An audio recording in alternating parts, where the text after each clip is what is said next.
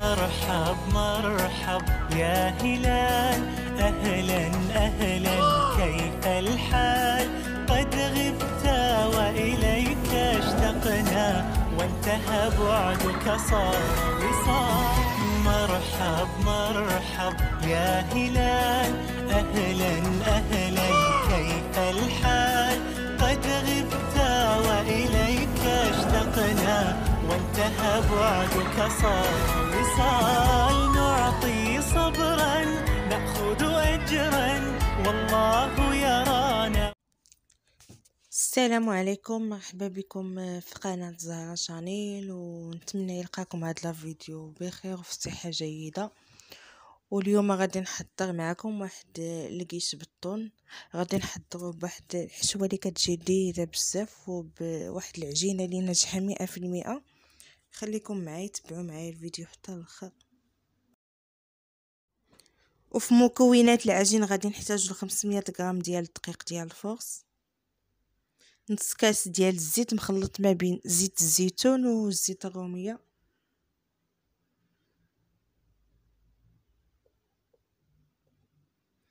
وغنحتاجو شوية ديال الزعتر واحد القبيصة ديال الملح. غص معلقه صغيرة من الخميرة الفورية ومعلقه كبيرة من السكر سنيدة وبيضة. هنا كناخدو الدقيق كنضيفو ليه الزعتر وسنيده والخميرة والملح. غنخلطوهم واحد شوية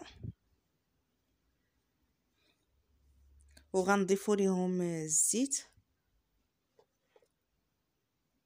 وغنخلطو حتى كيتغمل لينا هداك الدقيق.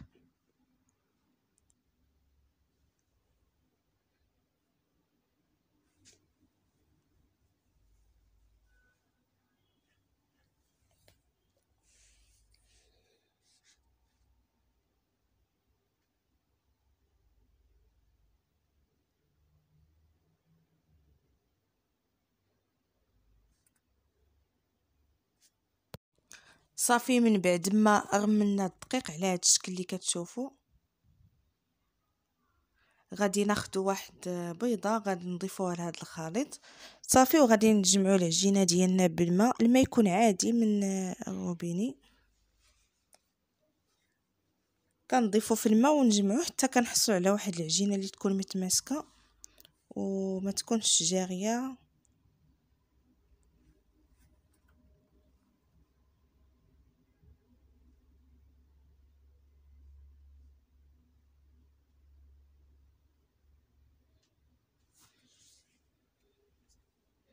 صافي من بعد ما كنجمعوا العجينة كناخذوا شوية ديال الزيت كندهنوها من الفوق لتحت صافي وكنغطيوها كنخلوها ترتاح لينا على ما نوجدوا الحشوة.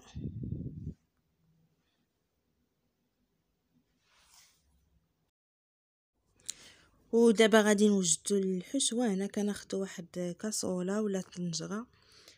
كنديروا فيها واحد الكمية من الزيت كنخلوها حتى كتسخن وكنضيفوا ليها بصلة مشلضة تكون رقيقه تقريبا هنا درت واحد الحبة.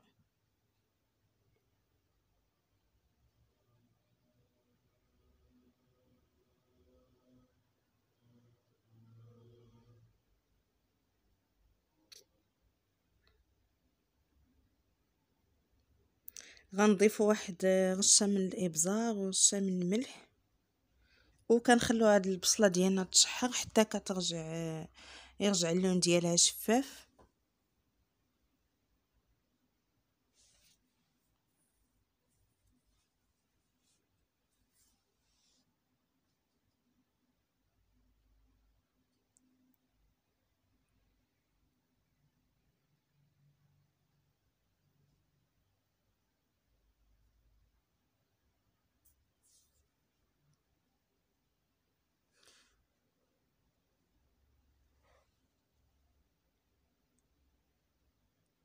من بعد ما تحرقت لينا البصلة غادي نضيفو ليها الفلفلة.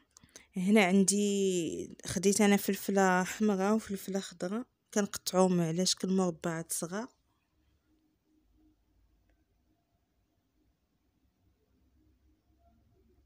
صافي غادي نخلو هاد الفلفلة حتى هي تشحر لينا مع البصلة مزيان.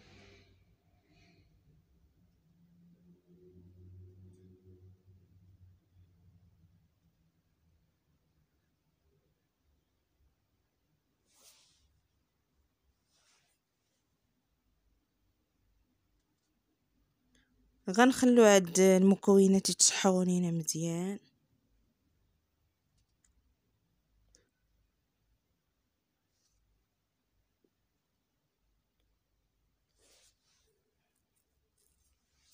ومن بعد غادي نضيفو شوية ديال الحرقوم تقريبا معلقة صغيرة.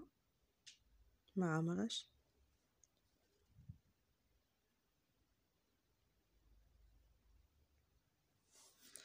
صافي ومن بعد ما يتشحروا لينا هاد المكونات غادي نطفو عليهم.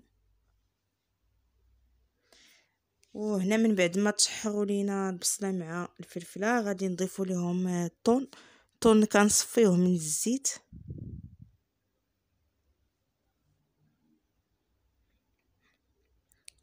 وغادي نخلطوا هاد المكونات ديالنا وغنخليو الحشوة على جنب.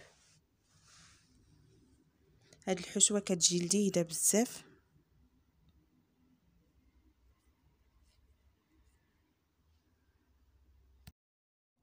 وهنايا كنرجعوا لهذيك العجين ديالنا كناخذوها كنسرح كنرشوا شوية ديال الدقيق على سطح العمل وكنسرحوا العجينة ديالنا بالمدلك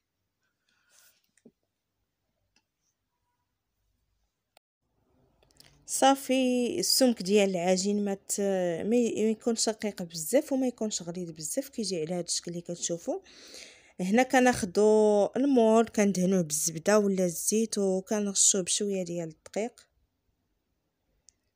صافي وغادي نحطو فيه هذيك العجينة اللي اللي سرحنا على هذا الشكل اللي كتشوفوا صافي غادي نقادو العجين ديالنا وغادي نحيدو هذيك العجينة اللي زايدة لينا في الجناب.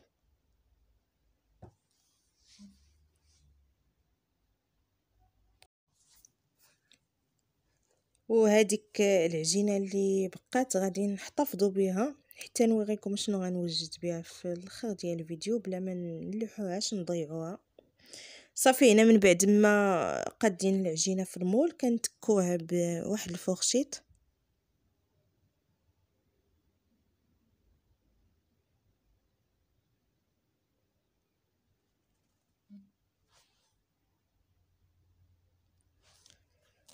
ومن بعد كناخدو الحشوة ديالنا اللي وجدنا كنضيفوها في الوسط ديال المول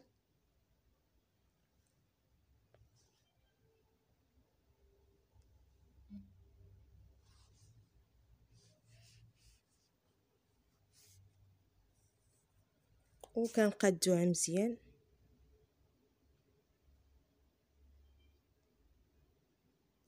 والحشوة يمكن لكم تضيفوا أي حاجة كتعجبكم الدجاج ولا الكفتة.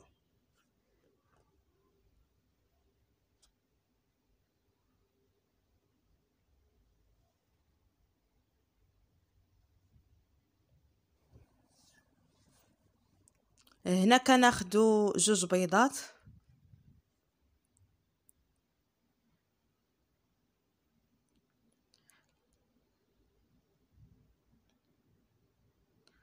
كنضيفوا ليهم كاس ديال الحليب وغنضيفوا ليهم واحد فورماج مثلث غادي نطربوا مزيان هاد المكونات ديالنا حتى كينسجموا لينا. يمكن لكم تضربوهم في الخلاط الكهربائي.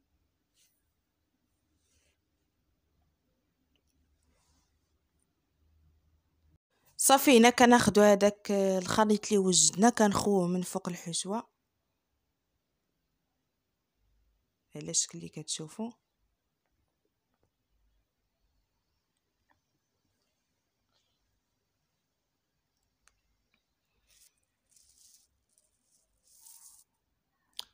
ومن بعد غادي نضيفو واحد شوية ديال الفرماج محكوك. صافي وكندخلو المول ديالنا الفران الفران يكون مسخن من قبل.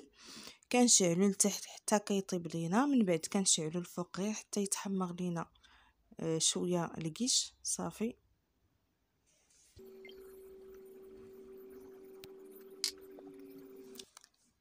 هنايا ديك العجينة اللي بقات عندي. كناخدها كنسرحها تكون رقيقة.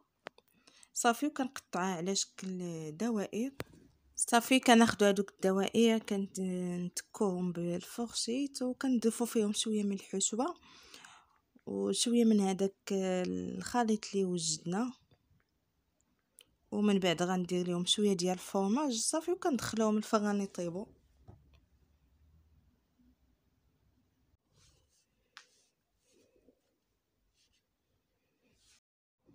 صافي هنا من بعد ما طاب لينا الكيش هنا زينته بشوية ديال الزيتون كحل مع قزبور مقطع. وكانت هذه هي الوصفة ديالنا اليوم. كتجي لذيذة بزاف. نتمنى تعجبكم وما تنساوش تخلوا لي اللايكات والتعليقات ديالكم.